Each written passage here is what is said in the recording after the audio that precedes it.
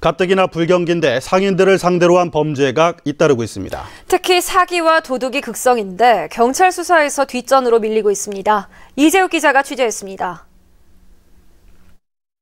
청주의 한 횟집. 주인이 어항 청소를 하는 사이 한 남성이 계산대 아래 있는 주인 가방에서 현금 200만 원이 든 지갑을 들고 나갑니다. 주인과 마주친 남성은 천연덕스럽게 조금 있다와 회를 포장해 가겠다는 말을 남기고 사라집니다. 사람이 지나가도 내가 아우, 못 믿을 적이고 일단 문은 꼭 잠그고 다녀요. 어딜 다니더라도 잠깐. 또 다른 식당의 점심시간.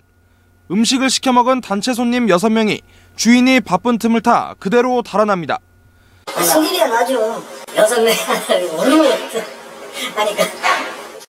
청주의 한 식당은 전화로 단체 손님을 예약한 뒤 급한 일이 생겼다며 찾아와 교통비를 빌려달라는 남성으로부터 사기를 당했습니다. 단골 손님이라는 말에 깜빡 속아 30만 원을 뜯긴 건데 근처 다른 식당도 같은 수법에 40만 원을 잃었습니다. 아, 당구나 말씀하시니까.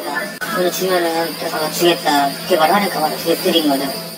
소액절도와 사기는 경찰 수사에서도 뒷전으로 밀리는 경우가 많아 용의자 검거도 제때 이루어지지 않으며 상인들의 속만 타들어가고 있습니다. MBC 뉴스 이재욱입니다.